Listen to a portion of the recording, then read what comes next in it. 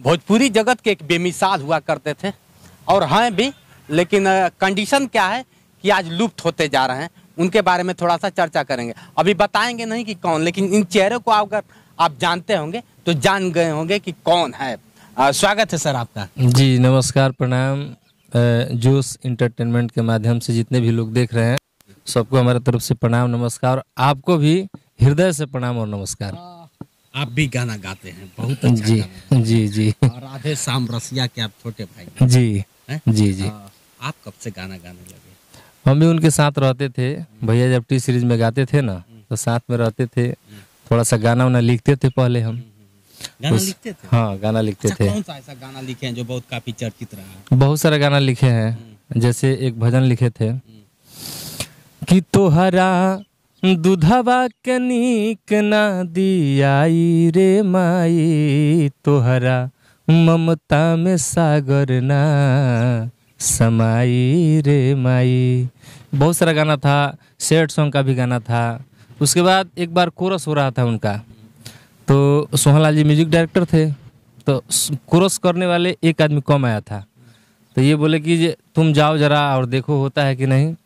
हमने गया साथ में कोरस किया। और जब कोरस किए किए तो सोहनलाल जी बोले कि ये तो अच्छा आवाज़ है तुम्हारे भाई का इससे भी गवाओ। उसके बाद से हमारे अंदर भी जागरूक हो गया गाने का लालसा और हम गाने लगे। बहुत सारा गाना हुआ लेकिन एक गाना से हमको बहुत मतलब प्यार दुलार मिला और काफ़ी श्रोता लोग जाने। ये होली का ही सीज़न था। अरे वाह होली चल भी रहा। और देवर और भौजाई का मज़ाक था होली कॉमेडी गीत था। और वैसे भी होली जानबे करते हैं, बुरा न मानो होली है। तो मेरा गाना वायरल हुआ था। अरे बुरा जन मान होली आइल बाटे सभे एक रंग में रंगाइल बाटे। कि होलिया में भौजी के बिगड़ल रहन, खैली पकौड़ी, आलू चौप बैगन तभी तरीके पूरा गरम आइल इंजन करे पोए पोए। ये कॉमेडी गीत था और काफ़ी बजा और काफ़ी प्यार दुलार मिला। जी। जानना चाहूँगा सर। जिस तरह से अगर देखा जाए तो भोजपुरी एक विरासत बन गई थी आप लोगों के लेकर। जी। आ, अगर कहीं होता था कि सीरीज़ उठाई थी आप लोगों हाँ हाँ हाँ। लेकिन क्या ऐसा कारण रहा कि अब- अब इस जमाने में उस जमाने में जब कुछ नहीं था तो आप लोग बहुत काफ़ी फ़ेमस थे। लेकिन आज तो एक छोटा कलाकार भी अगर गा दे रहा है तो पूरा वर्ल्ड जान जा रहा है। जी जी जी। आज क्या रहा कि आप लोग लुप्त होते जा रहे हैं? देखिए लुप्त की कोई बात नहीं है। और देहाती भाषा में समझे तो सता एक आदमी का रहता नहीं है। अच्छा। सता चेंज होते रहता है। और एक ही आदमी सता पे रह जाएगा तो फिर मज़ा कहाँ आएगा? अगर केवल आप मान लीजिए सुख में ज़िंदगी जी रहे हैं तो फिर दुख का मज़ा नहीं आएगा। और दुख की ज़िंदगी जी रहे हैं तो सुख का मज़ा नहीं आएगा। तो सात सता में उतराव चढ़ाव होते रहता है। जी जी जी। आगे क्या करने वाले हैं? आगे तो मेरा होली रिलीज़ हुआ है और इसके बाद चैता करने वाले हैं।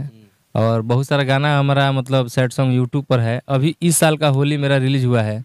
अरे हई का भइल भाई हई का भइल, होली में भौजी के लइका भइल। उहो त लइका हो गइल करिया, बीच बाजारों में बाजेला थरिया। अरे हई का भइल भाई हई का भइल, होली में भौजी के लैका भइल। बहुत सारा होली रिलीज़ हुआ है। और नेक्स्ट मेरा प्रोजेक्ट चैता का आ रहा है। चैता का तैयारी भी हो चुका है। अरे अबला भवानी मैया, तबला बजाई ले, कि जोड़िया बजाई महावीर रे चैतवा। अरे जोड़िया बजाई महावीर, कि गाँव के बरहम बाबा अरे सरंगी खिंचत बाड़े नाच तारे दास कबीर रे चईतावा अरे नाच तारे दास कबीर। की हे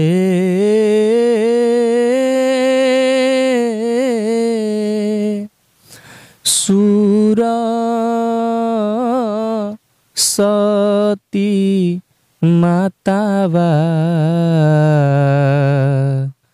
जोड़ीले दुनु हाथावा ए रामा। कण्ठे सुरावा। कण्ठे सुरावा हो खना सहैया ए रामा। कंठे सुरावा। ये मेरा आने वाला है चैता। आने वाला चाहिए जी। देखिए हैं राधे श्याम रसिया के भाई हैं और बहुत काफ़ी चर्चित रहे। आज के दौर में अगर देखा जाए तो नाम प्रेम बहुत काफ़ी है। लेकिन कहीं ना कहीं जैसे इन्होंने कहा कि सत्ता एक हाथ में कभी नहीं रहता है। सत्ता पिछड़ थोड़ा सा हम लोग राधे